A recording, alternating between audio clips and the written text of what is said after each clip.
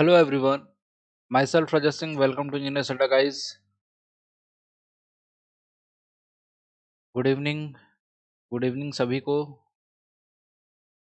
good evening Avtar Ashma Vandana Manish Sushant nature lover Prasanjit सभी को good evening है जल्दी से जल्दी आ जाओ ठीक है? सभी लोग जुड़ जाइए, उसके बाद स्टार्ट करते हैं सेशन आज के सेशन में हम लोग सॉल्व करने वाले हैं D triple S B JE examination के प्रीवियस ईयर क्वेश्चंस को, जो रिसेंटली एग्जामिनेशन हुए थे उसके क्वेश्चंस को। जिससे आइडिया लगे और जो हमारे अपकमिंग जेई एग्जामिनेशन जितने भी हैं उनमें हेल्प करेगा। तो ज़रूर सभी लोग पार्टिसिपेट करना कमेंट सेक्शन में। और इसी तरीके से कुछ दिनों तक डी ट्रिपल एस बी के सारे के सारे क्वेश्चन प्रीवियस ईयर के सॉल्व कर लेंगे हम लोग इस सीरीज़ में। कोई सीरीज़ नहीं है क्वेश्चंस की सीरीज़ है, शशि सिंह, वो भी चलेगी। अभी 16 लेक्चर हुए एनएचपीसी वाले के, बाकी आगे चलेंगे, बाकी और भी क्लासेस चलेंगे उसके। क्वेश्चंस प्रैक्टिस करना है, इसमें भी हम लोग क्वेश्चंस प्रैक्टिस ही करेंगे। और ये भी one of the important session है, आप सभी के लिए जो भी जेई एग्जामिनेशन की प्रिपरेशन कर रहे हैं इनफैक्ट क्वेश्चंस तो ऐसे ही रहते हैं क्वेश्चंस प्रैक्टिस करिए यहाँ भी। ठीक है? चलिए स्टार्ट करने से पहले जो भी बच्चे न्यू हैं जितने भी न्यू स्टूडेंट हैं, वो ज्वाइन कर सकते हैं सिविल इंजीनियरिंग का महापैक को। अगर आपको सिविल इंजीनियरिंग की प्रिपरेशन करनी है सिविल इंजीनियरिंग एग्जामिनेशन की, चाहे जेई के एग्जामिनेशन हो या एई के एग्जामिनेशन हो, इस पर्टिकुलर बैच में आपको सारे की सारी क्लासेस लाइव क्लासेस मिल जाती हैं जेई की। टेक्निकल नॉन टेक्निकल सारी।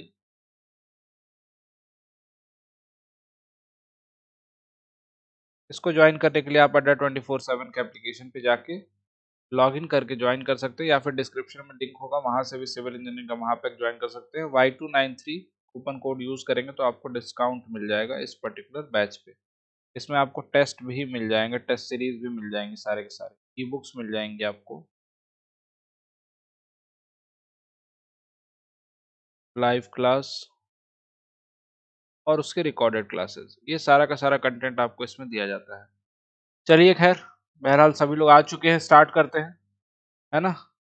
वन बाय वन करके स्टार्ट करेंगे और सभी ब्रांचेस के लिए अवेलेबल हैं, जो भी स्टूडेंट इंटरेस्टेड हों अपने अपने ब्रांच के रिस्पेक्टिव महापैक को ले सकते हैं। सिविल के हैं तो सिविल का इलेक्ट्रिकल है इलेक्ट्रिकल का और मैकेनिकल है तो मैकेनिकल का।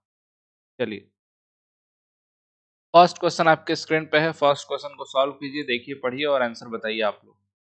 फटाफट, जल्दी से जल्दी। पहला क्वेश्चन देखिए, पढ़िए और आंसर बताइए।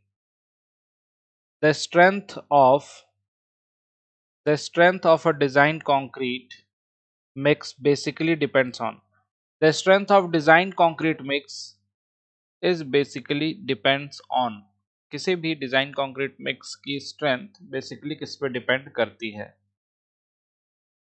फटाफट बताओ जल्दी से जल्दी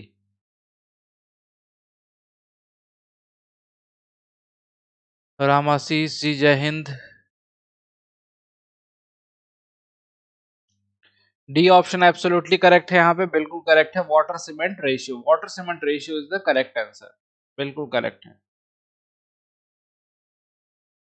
Water cement ratio absolutely correct यहाँ पे आपका करेक्ट आंसर क्या हो जाएगा? Water cement ratio water cement ratio increase करने पे स्ट्रेंथ क्या होती है? डिक्रीज करती है. ठीक है?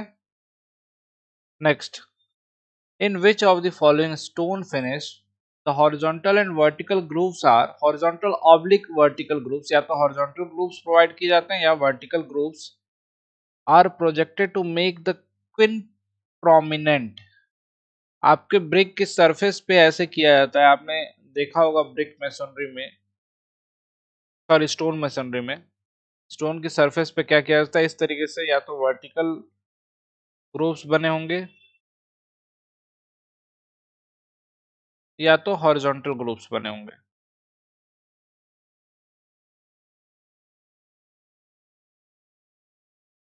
इसको हम क्या बोलते हैं, ये पूछा है यहाँ पे। Circular finish, rubbed finish furrowed finish या फिर moulded finish. Which one is correct कौन सा ऑप्शन करेक्ट है यहाँ पे? ये आपको बताना है। क्वेश्चन नंबर सेकंड का। और जल्दी से बताइए, फटाफट कमेंट सेक्शन में आंसर करिए। क्वेश्चन नंबर सेकंड का आंसर क्या होगा? जो लोग डी कह रहे हैं, डी गलत है, यहाँ पे सी ऑप्शन आपका करेक्ट है, यहाँ पे इसको बोलते हैं फ्रोड फिनिश। ठीक है, C option is absolutely correct, furrowed finish. Next, dash rock is the result of solidification of molten magma within the earth crust कौन सी rock dash rock is the result of the solidification of the molten magma within the earth crust earth crust पे solidification हो रहा है molten magma का। ठीक तो वहाँ पे कौन सी रॉक फॉर्म्ड होगी ये पूछा है।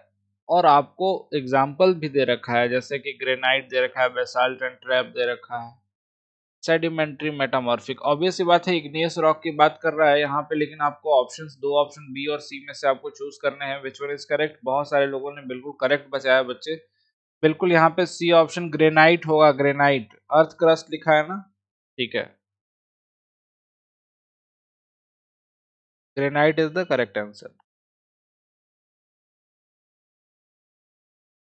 next the seven day tensile strength of OPC ordinary Portland cement, as tested by the briquette test, shall not be less than एक क्राइटेरिया है, वही पूछ लिया आपसे सेवन डे टेंसाइल टेस्ट जो हम करते हैं ओपीसी के लिए, वो कितने से कम नहीं होना चाहिए shall not be less than आप चार ऑप्शन दिए हुए हैं, चारों में से विच वन इज़ करेक्ट ये आपको बताना है, जल्दी से जल्दी फटाफट बताइए आप लोग कमेंट सेक्शन में।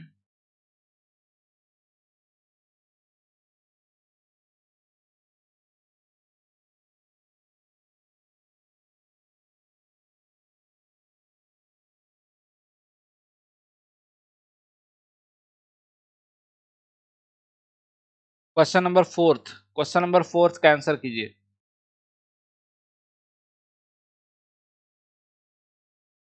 फोर्थ का A twenty five seven day पे पूछ रहा है और इसमें ब्रिकेट टेस्ट का रिज़ल्ट के बारे में पूछ रहा है। थर्टी नहीं होगा, यहाँ पे A option is correct A option is twenty five twenty five is the correct answer ठीक है? Next the nominal thickness of traditional two brick wall as per IS 2212 1991 1991 is यहाँ पे कुल मिला के ये पूछा है कि दो ब्रिक की वॉल है, उसकी ट्रेडिशनल ब्रिक यूज़ कर रहे हैं तो नॉमिनल थिकनेस कितनी होगी? आपको पता है कि नाइन इंच नाइन इंच एक होती है, दो होंगी तो 18 इंच यहाँ पे आपका ऑप्शन करेक्ट हो जाएगा। D option is absolutely correct D option is absolutely correct यहाँ पे टू लिखा हुआ है। ठीक अगला। A size of test specimen used in crushing test to determine a compressive strength of a stone is यहाँ पे स्टोन के लिए जो बोल रहा है crushing test compressive strength determine करते हैं हम लोग क्रसिंग टेस्ट में। स्पेसिमेन का साइज़ पूछ लिया आपसे। Size of the specimen the size of the test specimen used test specimen का साइज़ पूछा है, जल्दी से जल्दी बताइए। फटाफट।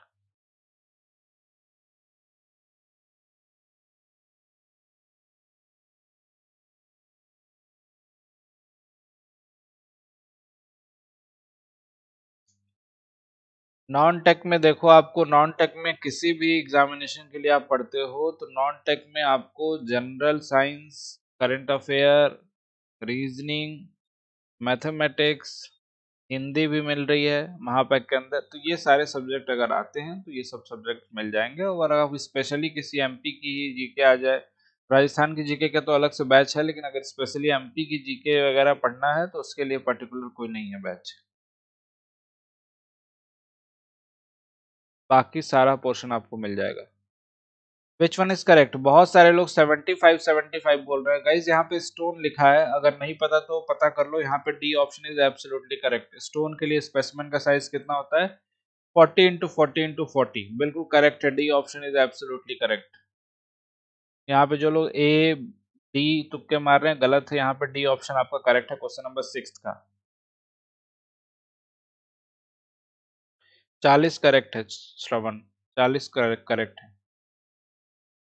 Distemper is a type of distemper किस टाइप का? ये आपका कैसा टाइप है? ये पूछा है type of varnish enamel paint oil paint या वाटर पेंट है जब भी डिस्टेम्पर लिखवाया है, बताया है, तब भी ये बार बार बोला है मैंने। डिस्टेम्पर वाटर पेंट बोलते हैं इसको। यहाँ पे पेन लिखा हुआ है पेंट है ये, है ना? ये पेंट है। वाटर पेंट है ये। Hundred percent correct D option is absolutely correct यहाँ पे D option is absolutely correct guys जो भी लोग बोल रहे हैं डिस्टेम्पर वाटर पेंट बिल्कुल करेक्ट बोल रहे हैं, ठीक है? D option is correct next थोड़ा फास्ट करो यार क्वेश्चन ज़्यादा है, इस तरीके से स्लो रहेंगे तो फिर नहीं हो पाएँगे. Name the test to be conducted on the limestone to determine the amount of calcium carbonate content calcium carbonate content को डिटरमाइन करते हैं लाइम स्टोन में name the test conducted on limestone determine amount of calcium carbonate जल्दी बताइए। आठवें का, question number eighth का। Limestone पे टेस्ट कर रहे हैं। To determine the amount of calcium carbonate उसको हीट टेस्ट बोलते हैं, ठीक है? ये B option is absolutely correct यहाँ पे बी ऑप्शन करेक्ट है।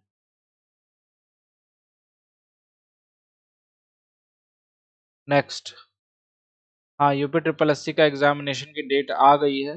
बहुत सारे बच्चों को पता भी होगा, पता चला होगा, सुना होगा लोगों ने। आप लोगों को नोटिफिकेशन भी मिल गई होगी।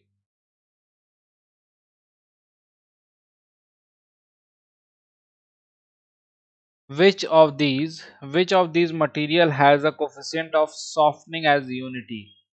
इनमें से कौन सा ऐसा मटेरियल है जिसकी कोफिशिएंट ऑफ़ सॉफ्टनिंग यूनिटी होती है जब हम लोग पढ़ते हैं एक स्पेसिफिक चैप्टर जिसमें स्टार्टिंग में ही इसकी प्रॉपर्टीज़ में लिखते हैं। Coefficient of softening brick sand glass और कंक्रीट किसकी कोफिशिएंट ऑफ़ सॉफ्टनिंग को वन लिया जाता है यूनिट लिया जाता है? That is glass C option is absolutely correct और ये छोटे छोटे क्वेश्चन जो है ना, याद रख सकते हैं आप लोग को रिपीट हो सकते हैं ऐसे क्वेश्चन ठीक है? कुछ तो रिपीटेड क्वेश्चन भी आए हुए हैं, पूछे गए हैं इस एग्जामिनेशन में। ठीक। The process of converting a stone यहाँ पे स्टोन है ये। This one is stone the process of converting of a stone to a required shape and surface is known as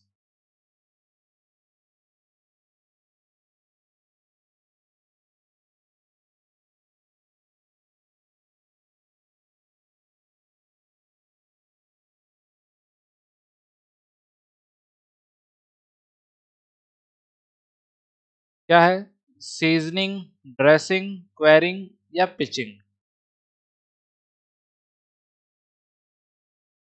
obvious बात है कि सरफेस को आप converting a stone to its required shape proper shape देना, उसकी surface को dress करना, इसको क्या बोलते हैं? ड्रेसिंग बोलते हैं ना right dressing is the correct answer dressing B option is correct ठीक है?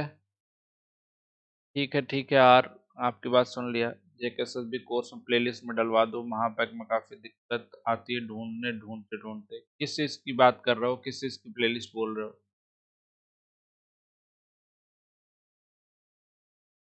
The important ingredient responsible for imparting strength to cement in the early period of setting is यहाँ पे पूछा है कि वो कौन सा इंपॉर्टेंट इंग्रेडिएंट है responsible for imparting strength strength के लिए रिस्पॉन्सिबल है in cement early period of the setting is early strength के लिए रिस्पॉन्सिबल पूछ रहा है, जल्दी से बता सकते हैं। अगर जो पेड बैचेज में पढ़ रहे हैं बिल्डिंग मटेरियल अभी स्टार्ट करा है जस्ट और उसमें आज ही पढ़ाया है ये सब सारी चीज़ें।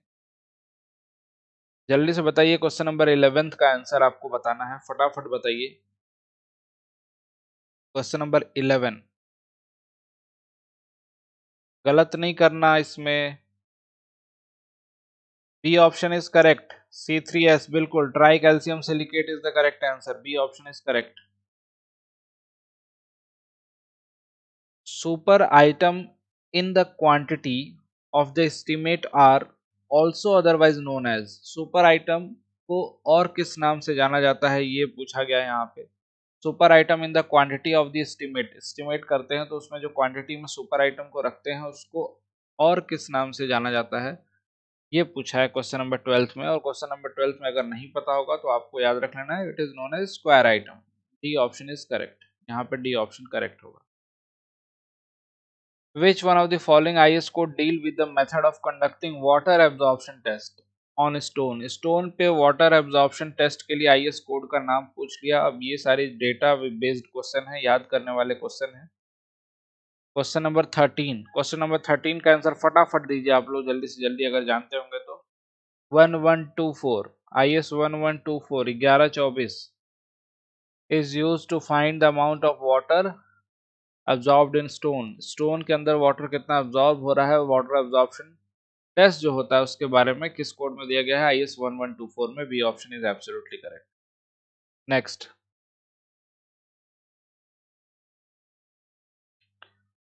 which of the following is the predominant constituents of the calcareous rock हाँ सुन लिया आपकी JK S S B JE की जेके एस एस बी वाले अलग भी बने हुए हैं। आपको महापैक में भी हैं, अलग भी हैं। अलग से जाकर देखोगे तो मिल जाएगा।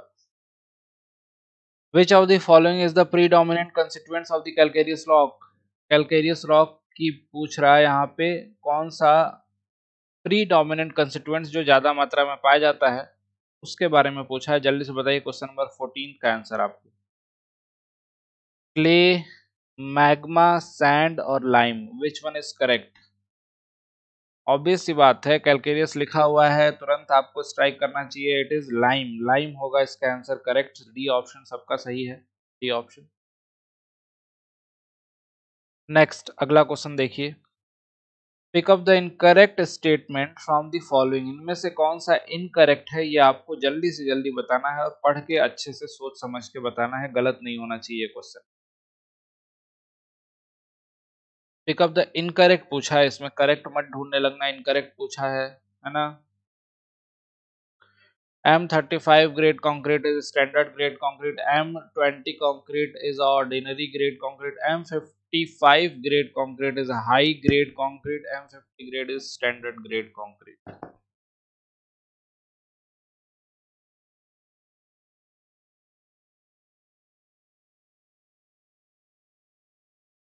playlist होती है क्या यार एप्लीकेशन में? कौन सी प्लेलिस्ट कहाँ की बात कर रहे हो? चलो मेरे को पर्सनल मैसेज कर देना, अभी परेशान मत हो, ठीक है?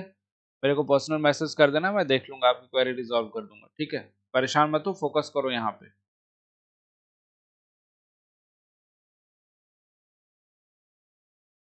सी ऑप्शन बिल्कुल करेक्ट है सी ऑप्शन यहाँ पे स्टैंडर्ड लिखा हुआ है, बेटा, ये हाई लिखा हुआ है स्टैंडर्ड होगा ना, यहाँ पे सी ऑप्शन बिल्कुल इनकरेक्ट है। इसलिए यही करेक्ट हो जाएगा। यहाँ पे पूछा है which one is incorrect name the estimate that gives the most realistic cost of the project name the estimate that gives the most realistic cost of the project project की मोस्ट रियलिस्टिक मतलब actual cost को दर्शाता है कौन सा estimate यहाँ पे लिखा हुआ है cost index estimate cube rate estimate detailed estimate and the plinth area estimate which one is correct बताना है आपको कौन सा इसमें से करेक्ट है।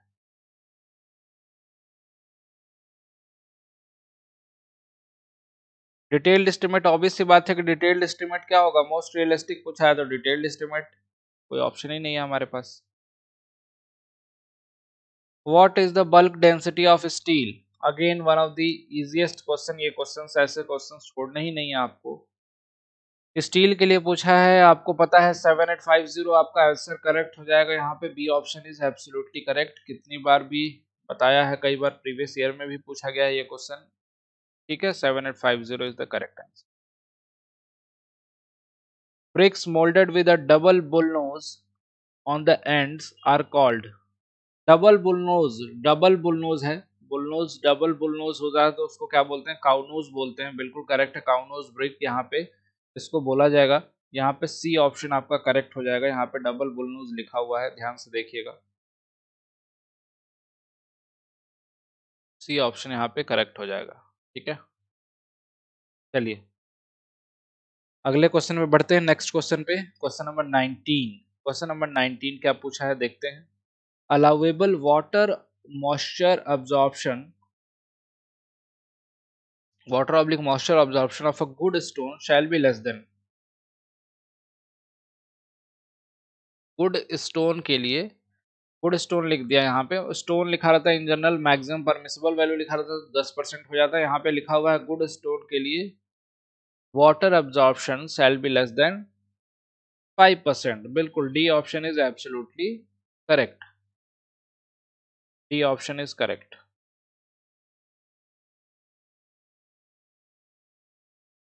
हाँ बिल्कुल, टेन परसेंट रिजेक्टेड वाला। करा चुका हूँ पहले। Next. Metamorphism at the surface of the earth brought about the direct pressure only is known as direct pressure की वजह से सरफेस ऑफ़ अर्थ पे मेटामॉर्फिज्म हो रहा है। मेटामॉर्फिज्म मतलब मेटामॉर्फिक एक्शन देखने को मिल रहा है, जिसमें रॉक कन्वर्ट हो रही है मेटामॉर्फिक रॉक में। उसको क्या बोलते हैं? अगर सरफेस पे देखने को मिल रहा है तो केवल डायरेक्ट प्रेशर की वजह से। Directed directed pressure only question number twenty question number twenty का आंसर कीजिए फटाफट सभी लोग। इसका आंसर हो जाएगा कैटाक्लास्टिक मेटामॉर्फिज्म इसको बोलते हैं कैटाक्लास्टिक मेटामॉर्फिज्म ये क्वेश्चन अगर शायद आप लोगों ने करा होगा तो आपको पता भी होगा। Cataclastic in the presence of pressure only तो कैटाक्लास्टिक मेटामॉर्फिज्म बोलते हैं। टेम्परेचर होगा तो थर्मल मेटामॉर्फिज्म ठीक है? The density of reinforced cement concrete with 2% of steel reinforcement is. यहाँ पे देखो पूछा है density of reinforced cement concrete with the 2% of steel reinforcement. इसके लिए एक चार्ट भी दिया हुआ है। इसके लिए ना एक चार्ट दिया हुआ है आपके I S four five six में। वहाँ पे भी आपको अलग अलग परसेंटेज ऑफ़ स्टील के करस्पॉन्डिंग डेंसिटी की वैल्यू दी हुई है। अगर परसेंटेज नहीं दिया रहता तो जनरली हम लोग कितना ले लेते हैं? पच्चीस ले लेते हैं आरसीसी के लिए। लेकिन यहाँ पे परसेंटेज ऑफ़ स्टील के करस्पॉन्डिंग उस चार्ट में देखोगे तो आपको वैल्यू दिखाई देगी। यहाँ पे कई लोग कंफ्यूज हो गए ना अट्ठाईस टिक कर दिए थे एग्जामिनेशन में। सोचे थे कि 2500 लेते हैं आरसीसी के लिए तो उससे ज़्यादा ही होना चाहिए। ऐसा नहीं सोचना है। वहाँ पे चार्ट दिया हुआ चार्ट से यहाँ पे 2400 वैल्यू होगी। यहाँ पे टू फोर डबल ज़ीरो के जी पर क्यूमेक बिल्कुल यहाँ पे C option is absolutely correct pick up the correct statement from the following in इनमें से कौन सा स्टेटमेंट करेक्ट है? Ranging rods are longer than ranging poles ranging rods are longer than ranging poles ranging poles are longer than ranging rods ranging rods are of greater diameter than the ranging poles ranging rods are ranging rods and ranging poles are one and the same एक ही चीज़ है, ये बोल रहा है।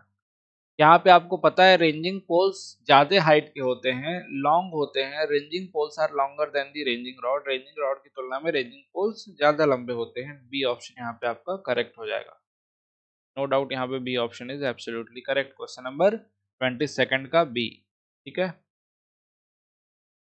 No deduction in measuring the concrete work shall be made for the end of the dissimilar material corbels etcetera up to dash square centimetre in area of cross section as per the I S twelve hundred part two बोला गया कि कोई भी deduction नहीं करेंगे. End of the dissimilar material पे जब area कितने तक हो? Area up to 500 square centimetre 500 square centimetre area हो, तब तक हम कोई डिडक्शन नहीं करते end of the dissimilar material no deduction in measuring the concrete work concrete work जब भी मेजर करोगे तो कोई डिडक्शन नहीं करोगे जब तक एरिया 500 सेंटीमीटर स्क्वायर तक हो। ठीक है? According to I S part two.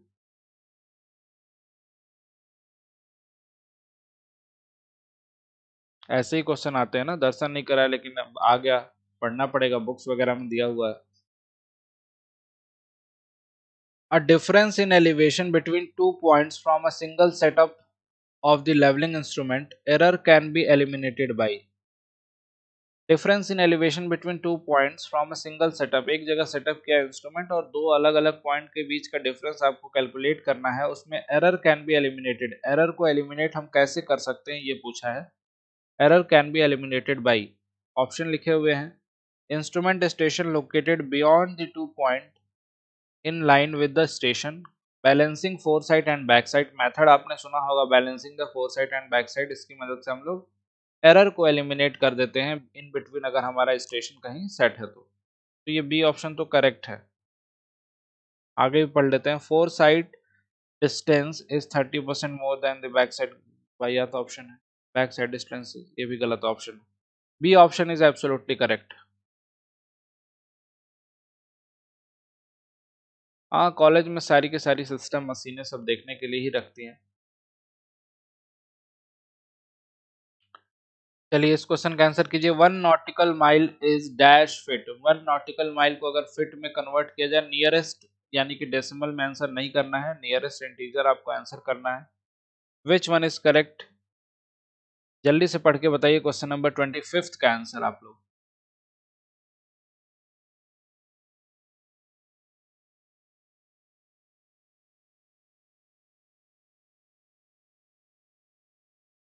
Shipping वगैरह में यूज़ करते हैं टर्म जल्दी से बताइए question number twenty fifth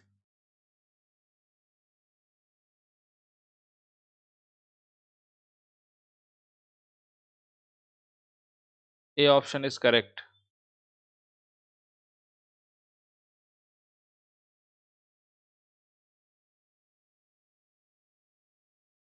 book कैसे लें? प्लीज़ बताइए, बुक कैसे क्या लेना है यार? बुक के लिए अड्डा ट्वेंटी फोर सेवन का एप्लीकेशन डाउनलोड करो सर्च करो, उसमें बुक दिखाई देगी अप्लाई करो coupon Y two nine three और आपको मिल जाएगा पेमेंट करो, आपका एड्रेस डालने का ऑप्शन आएगा एड्रेस डालिए, आपके एड्रेस को डिलीवर हो जाएगी। Next the quantity of RCC is measured in RCC को किसमें मेजर करते हैं?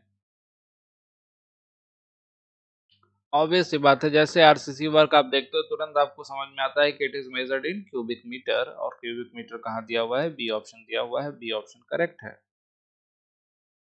B option is correct cubic metre में मेजर करते हैं RCC work next painting coefficient for measuring the panelled और फ्रेम्ड एंड ब्रेस्ड डोर ठीक पेंटिंग कोफिशिएंट मतलब एरिया को हम कितना इंक्रीज कर देते हैं, ये पूछ रहा है मेजर्ड फ्लैट इंक्लूडिंग चौखट्स इज़ जिसमें चौखट को भी इंक्लूड कर रहे हैं, उसके लिए कितना बढ़ा देते हैं, जल्दी से बताइए। विच वन इज़ करेक्ट अब मुझे नहीं पता कब तक आएगा, जब भी आएगा प्रिपरेशन स्टार्ट रखो, पढ़ते रहो।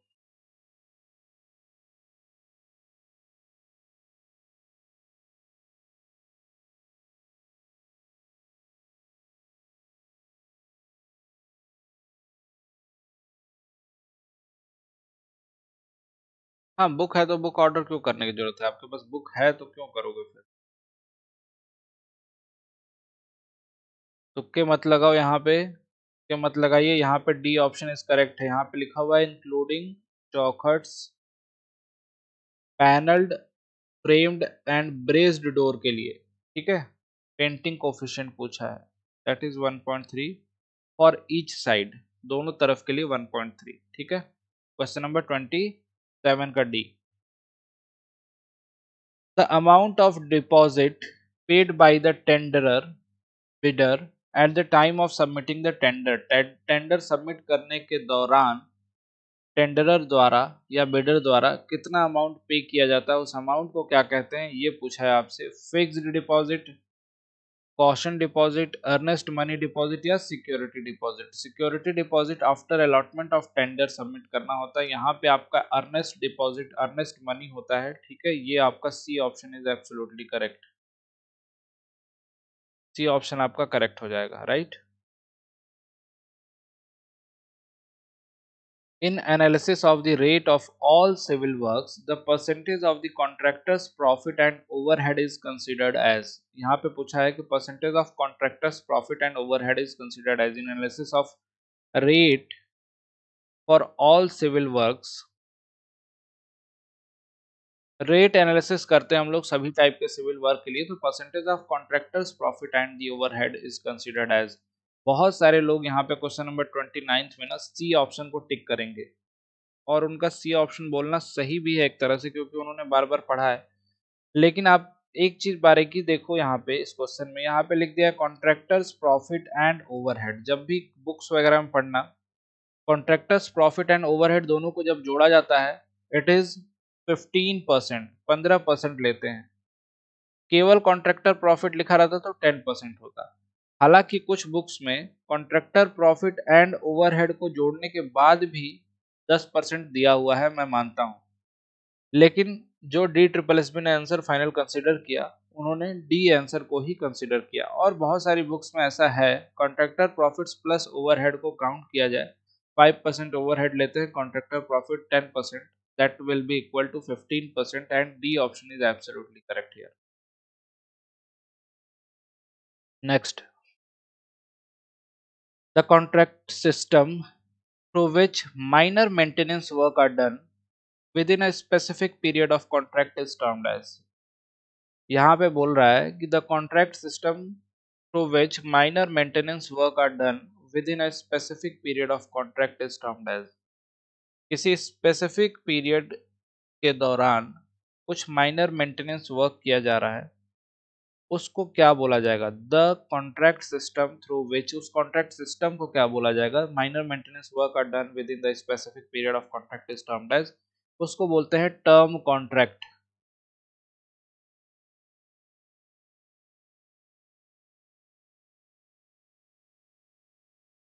गाने याद आने लगे? टर्म कॉन्ट्रैक्ट बोलते हैं इसको term contract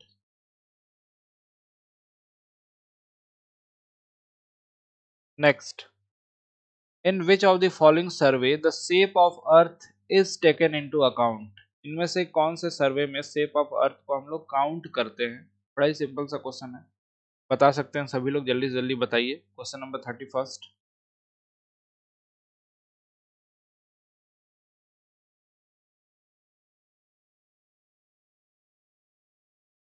दोनों हैं उसमें एमसीक्यूज जो हैं, उसके साथ साथ टेक्निकल के सब्जेक्ट भी हैं भाविश। ऑलरेडी मैं वीडियो बना के बता चुका हूँ। Hundred percent it is geodetic surveying geodetic surveying हो जाएगा। ठीक है?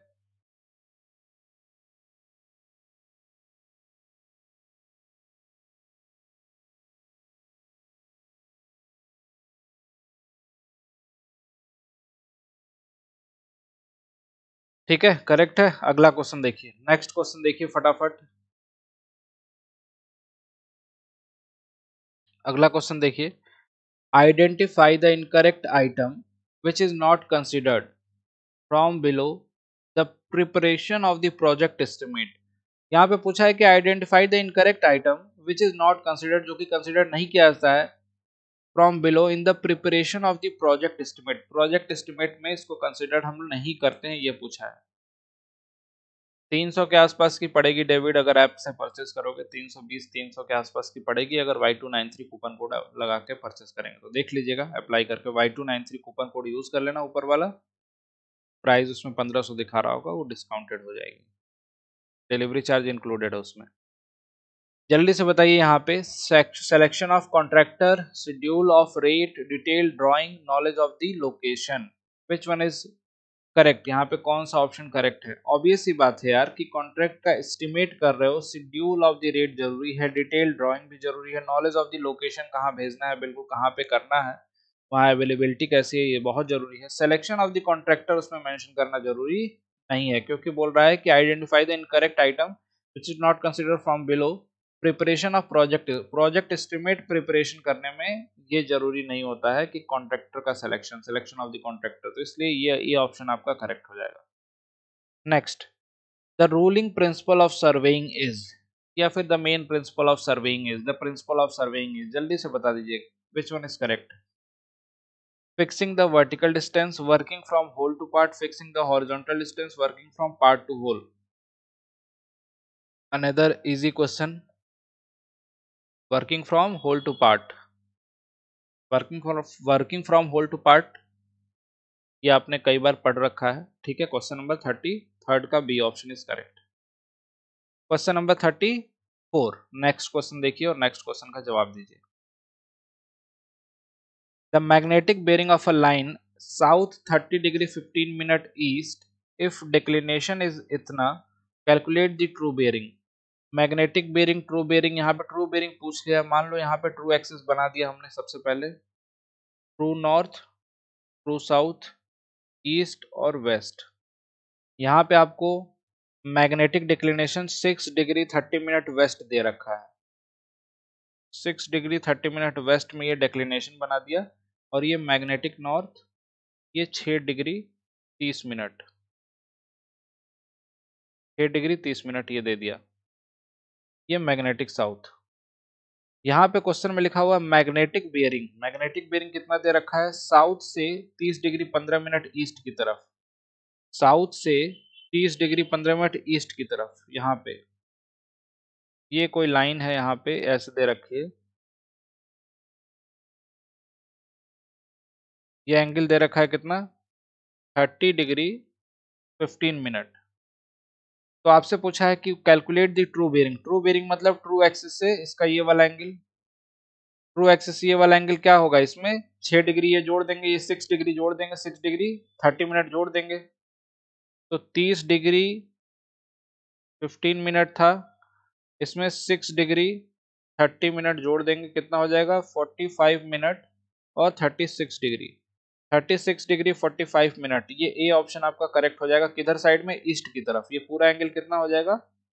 पूरा एंगल हो जाएगा thirty six degree forty five minute towards the east लेकिन एक्चुअल में यहाँ पे इन्होंने साउथ नहीं लिखा, इधर साउथ लिखना चाहिए था इनको।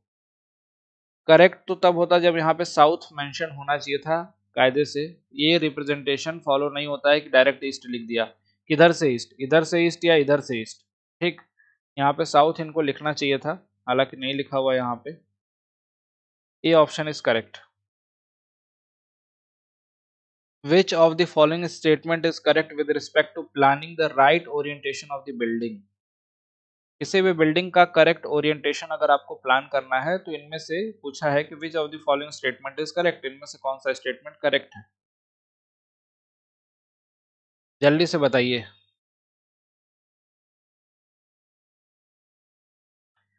Airway above the frequent movement of the plane accessibility ये बोल रहा है, airway above the frequent movement of the plane airway above होना चाहिए फ्रीक्वेंट मूवमेंट ऑफ़ प्लेन के लिए accessibility of the entertainment place entertainment place के लिए एसेसिबिलिटी होनी चाहिए आने जाने के लिए वहाँ पे। Potential of passive heating and cooling बिल्कुल करेक्ट यहाँ पे सी ऑप्शन मेन चीज़ जो हम ध्यान रखते हैं बिल्डिंग के ओरिएंटेशन के लिए कि विंड का फ्लो और वहाँ पे हीटिंग और कूलिंग कितने इजीली हो पा रही है? एयर कितने आसानी से फ्लो हो पा रहा है वहाँ से? इंट्रैप्ड एयर जो गर्म हवा है वो निकल पा रही है कि नहीं? ये हम ध्यान देते हैं ओरिएंटेशन में और इसका आंसर सी बिल्कुल करेक्ट हो जाएगा। प्रॉक्सिमिटी ऑफ़ हेल्थ सेंटर ये सब सेकेंडरी लेकिन प्राइमरी चीज़ ये होती है। ओरिएंटेशन की बात कर रहा है ना? ओरिएंटेशन ओरिएंटेशन पे ये डिपेंड नहीं करता है कि किधर इसका ओरिएंटेशन रखें, फेस रखें। ये डिपेंड करता है कि potential of passive heating and cooling, बिल्कुल करेक्ट लिखा हुआ arrange in the decreasing order of the weight of the building material, dry sand dry sand को एस से रिप्रेजेंट किया, स्टोन एग्रीगेट को ए से, लाइम को एल से एंड सीमेंट को सी से अंडर दी। नॉर्मल कंडीशन बोल रहा है कि डिक्रीजिंग ऑर्डर में मतलब सबसे भारी वाला पहले, सबसे हल्का वाला बाद में। उस तरीके से अरेंज करना है आपको और आपको ऐसा क्वेश्चन जब भी मिले तो आप सबसे पहले ढूंढा करो सबसे हल्का वाला कौन सा है, सबसे भारी वाला कौन सा है। फ़र्स्ट और लास्ट को ढूंढ लो, आपका आंसर हो जाएगा। फ़र्स्ट कौन सा होगा? सबसे भारी वाला देखो क्या क्या ड्राई सैंड है। स्टोन एग्रीगेट है लाइम है सीमेंट है। आपको पता चल रहा है स्टोन एग्रीगेट सबसे भारी होगा तो ये तो सबसे भारी हो गया, चलो। सबसे लाइट कौन सा होगा? देखो dry sand stone aggregate lime cement lime सबसे लाइटेस्ट होगा ना लाइम ए सबसे पहले एल सबसे बाद में आपका सी ऑप्शन करेक्ट हो जाएगा। C option is absolutely correct बिल्कुल करेक्ट ठीक सी ऑप्शन यहाँ पे आपका करेक्ट हो जाएगा A S C L next question number thirty seven question number thirty seven देखिए। The process of assessing the value of property keeping in view the economics of the investment is termed as the process of assessing the value of a property keeping in view the economic of the investment is termed as pricing estimation costing and valuation the process of assessing the value of the property किसी property की value को हमें जानना है keeping in view the economic of the investment is termed as कितना हमने उस पर इन्वेस्ट किया है ये सब ध्यान रखते हुए तो उसको क्या बोलते हैं उसको हम लोग बोलते हैं वैल्यूएशन बिल्कुल करेक्ट है वहाँ पे वैल्यू से रिलेटेड है वैल्यू जानना है प्रॉपर्टी की, उसको हम लोग बोलेंगे वैल्यूएशन। ठीक है? Next question number thirty eight. Question number thirty eight पढ़िए guys a brick layer laid on the soft soil below the foundation concrete is called soft soil पे कंक्रीट फाउंडेशन के नीचे रखा हुआ है ब्रिक इस तरीके से बिछा दिया है। इस ब्रिक को हम लोग क्या बोलेंगे?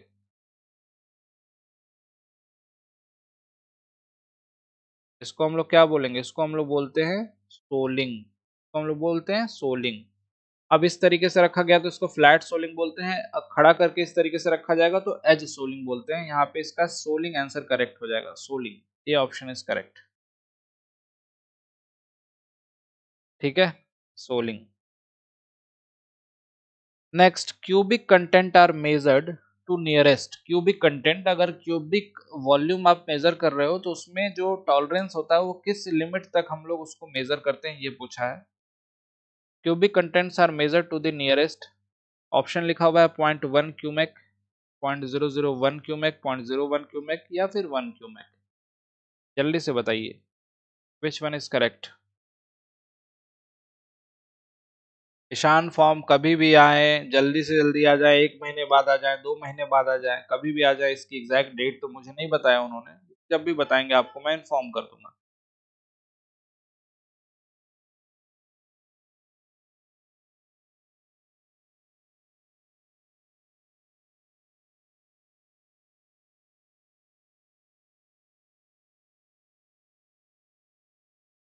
फटाफट जल्दी से जल्दी बताइए क्वेश्चन नंबर थर्टी नाइन जितने भी लोग हैं।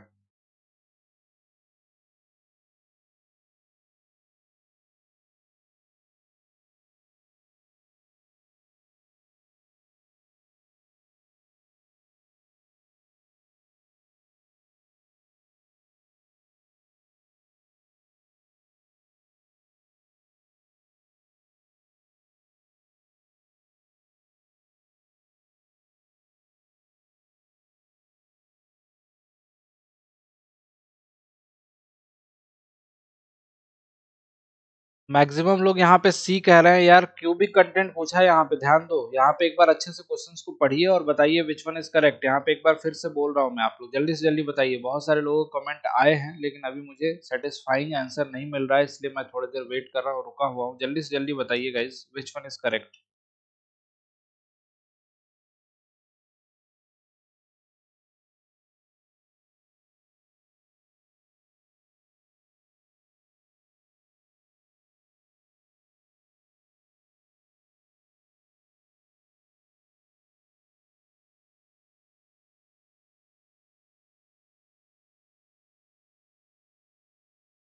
answer check change करने लगे। देखो, ज़बरदस्ती चेंज करने लगे, है ना? ज़बरदस्ती चेंज कर दो सारे के सारे answer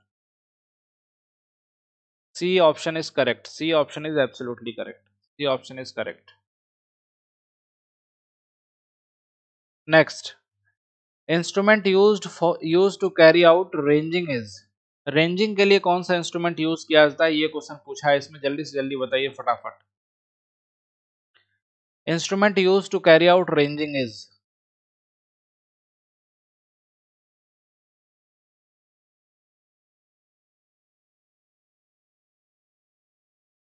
हो सकता है, लेकिन अब देखो क्वेश्चंस भी ज़्यादा करने हैं तो इंग्लिश ही सही रहता है टाइप भी हो जाता है इजीली टाइपिस्ट जो हैं, वो टाइप करके इजीली दे देते हैं। हिंदी इंग्लिश में क्वेश्चंस को कन्वर्ट करना टाइप करना रोज रोज इतना केवल एक ही सेशन तो लेना नहीं है है ना?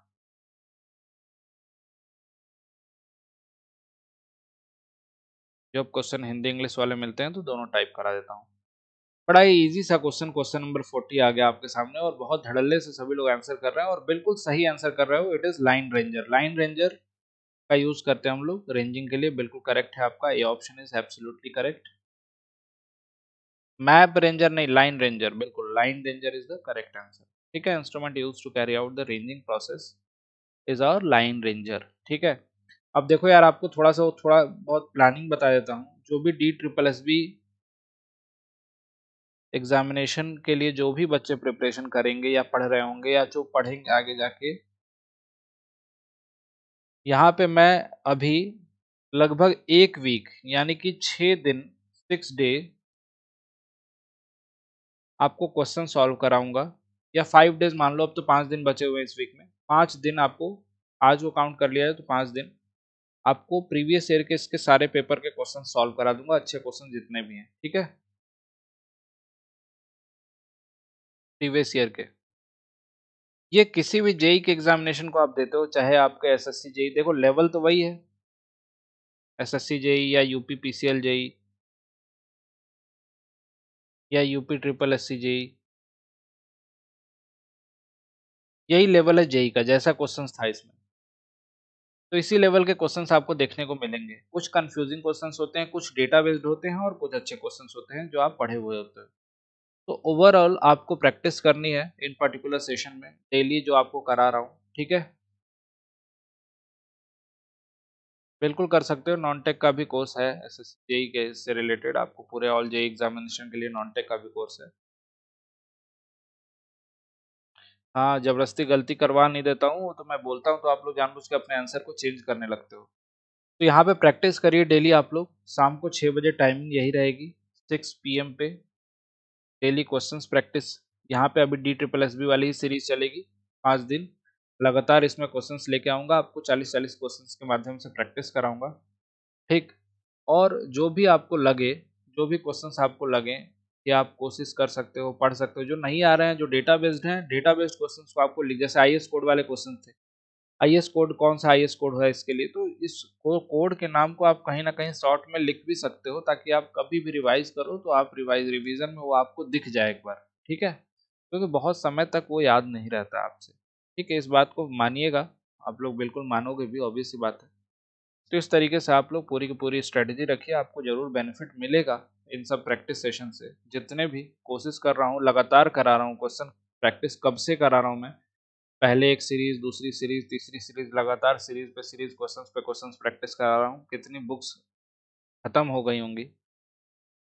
चलिए, आज के लिए इतना ही रहने देते हैं और फिर मिलते हैं आपसे फिर नेक्स्ट लेक्चर में। नेक्स्ट लेक्चर में फिर सॉल्व करेंगे D triple S B JE के एग्जामिनेशन के सेकेंड पार्ट के क्वेश्चंस को। ठीक है? आज एक पहला पार्ट हुआ। कल 40 क्वेश्चन और सॉल्व करेंगे। इसी तरीके से लगातार सेशन में सॉल्व करेंगे और जो भी बच्चे जो पढ़ना चाहते हैं पेड बैचेज में जो पूछ रहे हैं, वो डायरेक्टली कुछ नहीं करना आपको डायरेक्टली महापैक ज्वाइन करिए, उसमें आपको सारे के सारे कोर्सेज मिल जाएँगे। आपकी ब्रांच अगर सिविल है तो आप अड्डा ट्वेंटी फोर सेवन के एप्लीकेशन पे जाइए गेट एंड इंजीनियरिंग सेक्शन में लॉगिन करिए सर्च करिए सिविल इंजीनियरिंग का महापैक उसमें आपको 12 महीने या 6 महीने दोनों वैलिडिटी में मिलेगा। आप यूज़ कर सकते हैं Y two nine three coupon code इससे आपको डिस्काउंट मिल जाएगा और उसमें आप सारी की सारी क्लासेस को एक्सेस कर सकोगे, जितनी भी क्लासेस होती